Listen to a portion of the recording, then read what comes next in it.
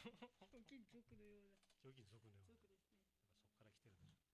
最近ひょうきんってこともし死語になってますからね。あんまり。あんたあんたひょうきんだねってあんまり聞かないような気がするえひょうひょうきんって死後？それお魚じゃあどうする？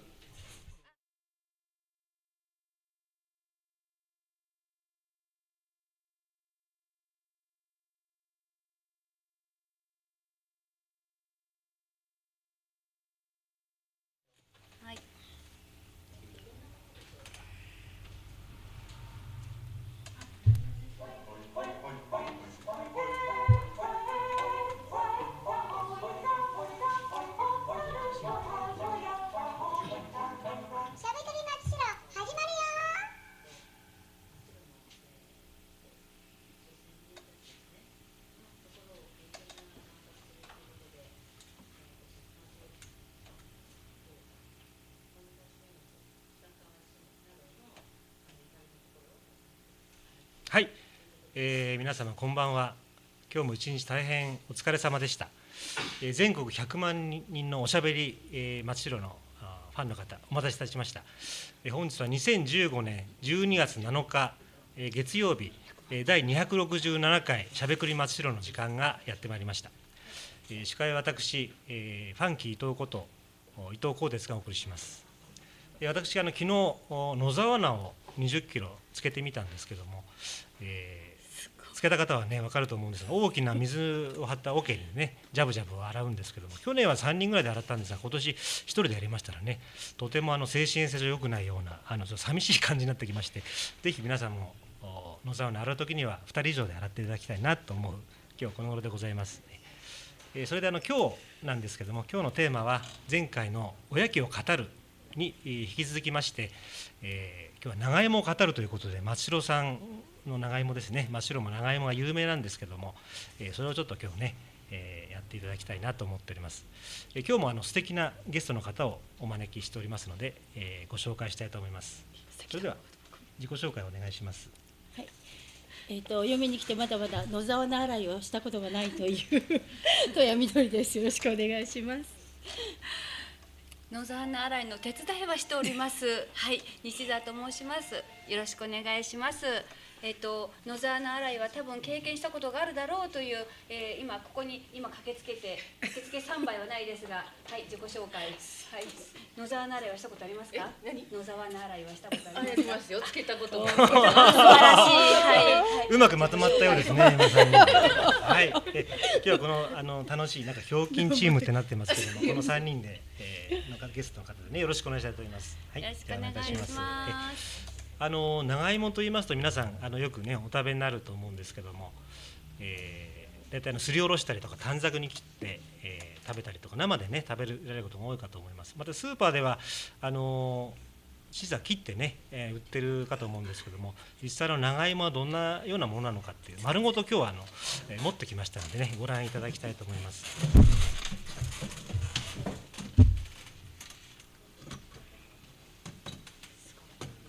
ではこちらなんですけども結構長い方ですね。長芋になります。これはあのうちのあの、えー健康のためなら死んでもいいっていうぐらいの 健康オタクのあの親父が作りました、えー完全無農薬の長芋になります、ね。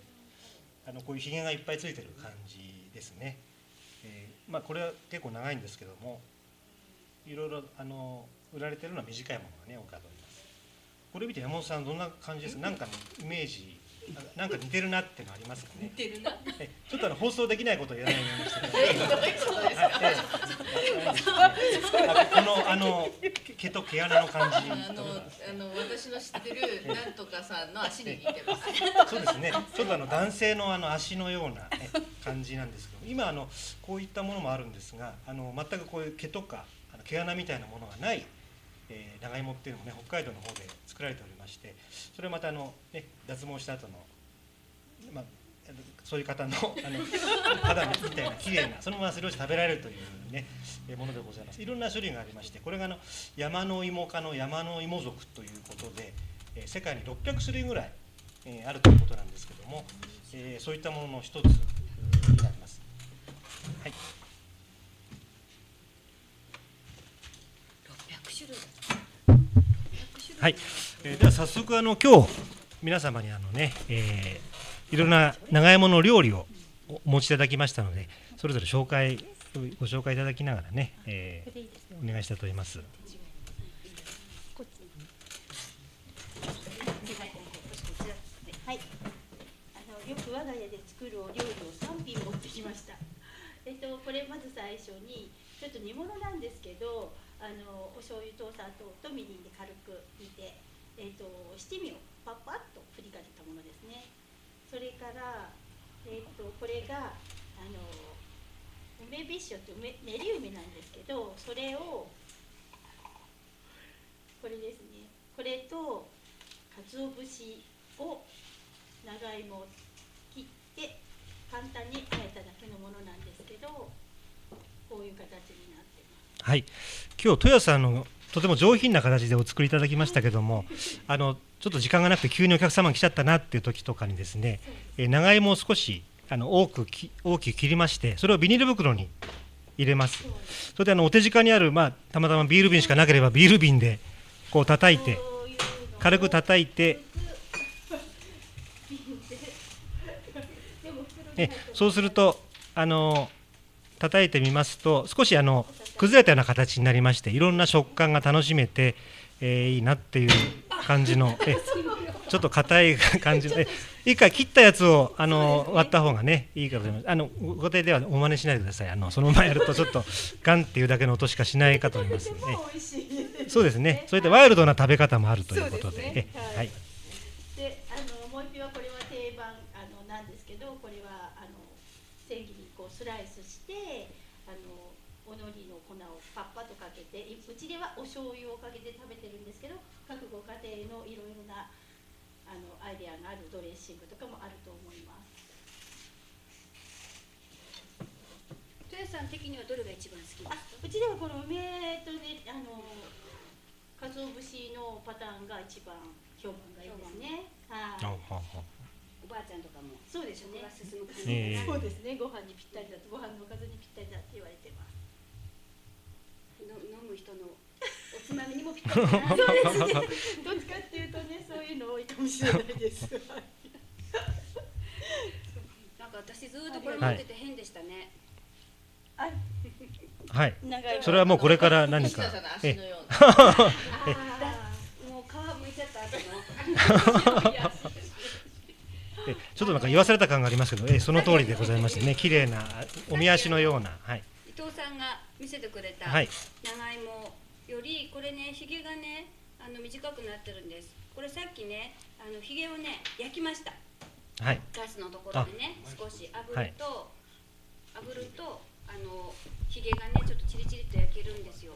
でそうするとこれ皮ごと調理ができてで今日この皮ごとねあの調理してきたものが、えっと、実はここれです。はい。これです。はい、はい、えっとこれはですね、えっと皮ごと長芋のまあちょっとこんこんなような大きさに切って、えっと片栗粉をまぶして油で揚げた後、はい。味付けをしたものなんですけど、まあええごまとか振ってね、で、はい。あのまあこういったこう揚げて食べる方法はいろいろあるみたいで、本当は今日ここで実演をしたかったんですけど、ちょっとトラブルでできなくて残念なんですが、あのあらかじめえっ、とあらかじめあの味付けをしといてねから鶏の唐揚げを作るように味付けをしといてあの片栗粉をまぶしてあげるともうこれはほら伊藤さんお酒のつまみにぴったりの、そうですね、はい。私もよく作りますけど、あの塩コショウでやるだけでもとてもね、美味しいですし、子供がとても大好きです。あこれはホクホクしていて。うんうん。はい。そうですね。なんかねえ揚げたてがねやっぱり美味しいんですよ。ああ、そうですね、はい。ええ。外がちょっとカリッとなって中がまだ生のようなシャキシャキ感があってね、そうですね、食べ物はみんなあの丸ごと食べた方がね、体にいいって言いますから、ね。あの剥かないで皮も食べれるととてもね、あのいい皮ごあのとねお料理ですね。はい。皮ごとがいいですね。はい。それともう一個はもうこの時期になるともうねやっぱり水菜鍋に入れますよね水菜この水菜をたっぷり使って長芋ののサラダを作ってみました。まあ長芋のサラダなんていろんなものをねできるわけですよね、はい。まあ要するに長芋のと長芋となんか混ぜてあえてなんかドレッシングかければサラダになっちゃうみたいな。はい。そんな感じですかね。今日は生姜生姜醤油で味付けをしました、でええせっかくなのでちょっと山本さん、すってみませんか？はい。はい。松代さんの長芋のすすりすり心地を。こんな長いのすったちょちょっと難しいですかね、するするのは。んですよねあのー今ちょうどお歳暮シーズンでね、あのー私今日ちょっとお歳暮で長芋あのお願いしてきたけど、ここれはここれはんあれかな、2L じゃないね。2L よりか細いね。ああ、えっ、と、どうなんでしょう。ちょっと長嶋さんみたいなことを言ってしまいましたけど、ちょっと私もよく L とか 2L とか、ねみかんがわかるんですけど、ちょっと 長芋のあれはちょっとわかりわからないですけども、えさいあのすごく太い長芋のもああるんえいい感じでね、あのおろされてますね。はい。でもあんまり太いとねやりにくいのよね。あーそうですね。うん。ほど何事もほどほど。がこれぐらいの太さだとちょっとこうおろしもそうですね。私もいつもあのあの剥きすぎちゃってなんかそれをのつるつるしながらこうやってるので、あの大変なんですけどもね、上のとこ残ってるとそこの滑らなくていいですね。ね。ちょっと長いので剥きあの、おすりおろしづらそうですけど。もうちょっとみ、はい。短い方がすりやすかったね。はい。じゃあそんな感じですかね。はい。じゃあ後で食べましょう。えーっとはい。はい。本当に美味しそうなねあのものにたくさんお持ちいただいたんで、もう本当に唾を今飲み込んでますけども、ちょっと試食の方をね、えーしてみたいと思います。はい。じゃあそれぞれあの食べたいもの皆さんええ。試食を試食タイム。食べたいもの。これこれ、ねはい。伊藤さんは？伊藤さんは？伊藤さんは？どれ食べる？伊藤さんはどれ食べる？はい。じゃあみんな寄って食べて、はい。うん。はい。それぞれ色たくさんはい。じゃあこれで。はい、はい。美味しそうですね本当に。はい。はい。すいません。ではいただきます。はいテレビの前の皆いただきます。さんごめんなさいね。でもはいじゃあテレビの皆さんにもはいあー。みそさんのこれドレッシング、はい。うん。うんこれやっぱ冷めちゃうとダメだな。これあでもあの皮に味が絡んでるからうん美味しいです。美味しいシャキシャキして美味しいです、はい。うん。食べちゃった。も う食べちゃった。もんじゃあ私食べた方がいいですかね。うん、私もねあこれ食べてみてください。じゃあいただきます。うん。うん、歯ごたえがあって美味しいですね。ね。はい。ごまも美味しいですね、はい。美味しいです これは本当にご飯に合いそう。美味しい。そうそうご飯のともに、美味しい。もうちょっと。梅とカツオってもね何でも合いますよね梅カツはね。うん。え美味しい。これってサラダ感覚ですか？ね、うん。うん。えこれは生姜。うん、生姜、えーと生姜醤油。酸味が効いててとっても美味しい。うん、そっちから順番に来る感じですかはい。やっぱり長芋は煮るのもいいしあのさっきみたいにすってうんとろろで食べるのもいいしこうやってええ。切って食べるのもいろんな料理がありますね本当に。ね。あの今インターネットの時代なんでいろんないろんなものをね調べますと本当にたくさん出てきますし。今あの長芋の焼酎とかもありますしね。あのシェイクシェイクじゃなくてソフトクリームでしたかね。そんなのもあるっていうのはねお聞きしてますけども。ね。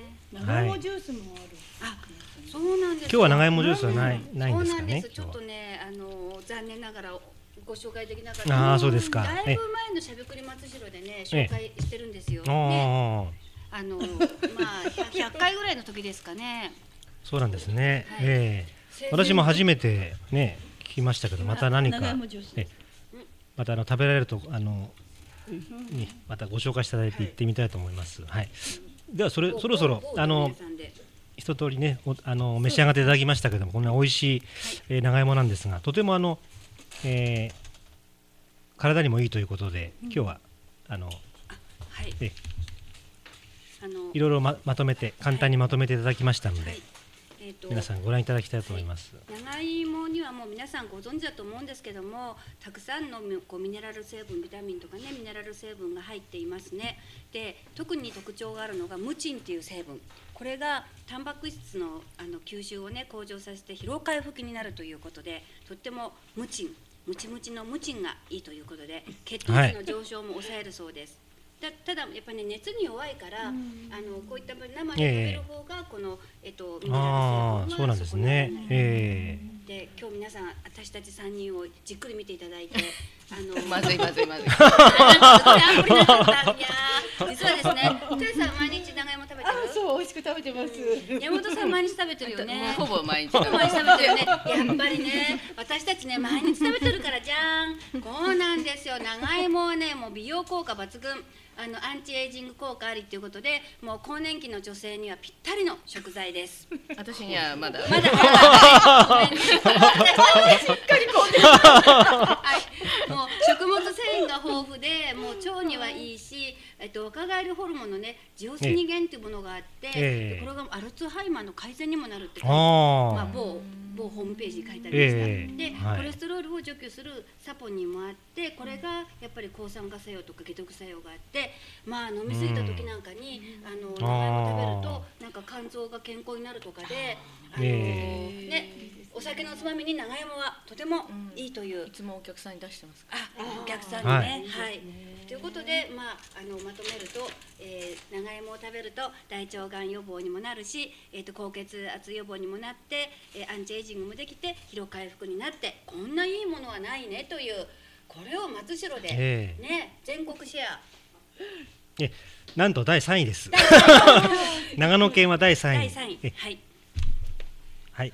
こんな効果でした。ということで。昔は1位だったんです。よ昔は1そうですね。今は1番が北海道2番目が青森で3番目が長野ということでね。惜しくも第3位ですけども、まあ、あの品質はとても長野のお芋はね美味しいと思いますので皆さんぜひあのお召し上がりいただければと思います、はい、今日はいろいろあのありがとうございました。お作りいただきましてまた皆さんもあのこういったものをねご家庭で作っていただくととても今日ご覧いただいたように美容の効果がありますので あのあ吹いちゃいけないですね。えあのということでお楽しみいただきたいと思います。では今日はこの辺でありがとうございました。ありがとうございます長芋食べてねーじゃあね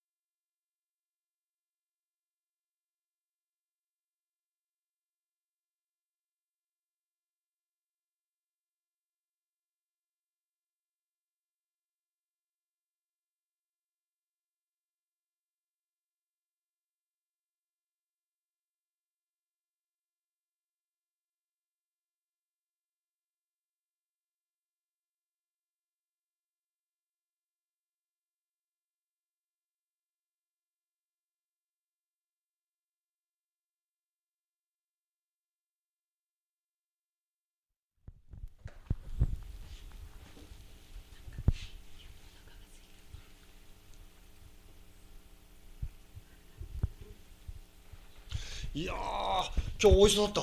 そうだね。回ってこなかったね。いつもね私ね口開いて待ってたんですけどね。うんうん来なかったですね。誰に宿さん食べられたの？あ他の人に食べられないもんねえいやいやいや残念でしたね今日ね、はい。本当に。ということで、ね。はい。えーお知らせはどうでしょうか？お知らせがね、えーっと来週と12月、今月のね12日はいですね、はいえーゆかりのあのーこの来年のねね真田丸うに、えー誓って、えーゆかりの地を巡るということであのー町歩きセンターではね、えー毎月何回かあのーいろんなところを巡るツアーをしておりますけども、え今回は、えー今度の土曜日ですね、はい。ええー9時半から午前中12時まで、えーこう各地区をええ。回ると、はい。うんそういうことになっておりますね。はいえーそれから今一つね、えーそのこれはこの方が早いですね、18日、はい。えーこれはね、えーこの間あーやっぱりこれもお真田にちかあのーちなみまして、えそれであのーうん小松姫のあね、えーえーそうですね、えーこのあのも選ばれました、えー牧野さんね。また出ていただきましたね。えいただきましたね。えーこの方にまた来ていただいて、ええ。ーまたお話しいただくと。お着物で来るんですか？さあそれちょっと終わりません。よご期待ですね。えそうですね、はいそんなあ具合でございますのでどうぞおご期待ください、えこれ来週の予定はこれからやるんですか？あのこれはこれこれはこれお知らせですからね。え来週は？来週ですね。あはい。のこれはねえ老人クラブ。老人から我々もその仲間ですけどね。ね。えはい。あのおあ。パーソナリティは宮坂さんですね。私ですね。はい。ということであの老人クラブの会長さんにねおいでいただいてね、い、ろいろなその老人クラブの活動をねお話しいただくということで、まあいろいろねちょっと打ち合わせさせていただいたんですけどねいろんな活動しますね。びっくりしました。ああそうですね。ね。そんなようなねえーやっぱりね多忙ですよね。そう、ええ。たくさんやってますね、年間通じてねまあそんなお話を聞けるんじゃないかと、はい。た私も楽しみです。そうですね。はい、よろしくお願いします。はい。それでは来週のしゃべくり場所をどうぞお楽しみに、はい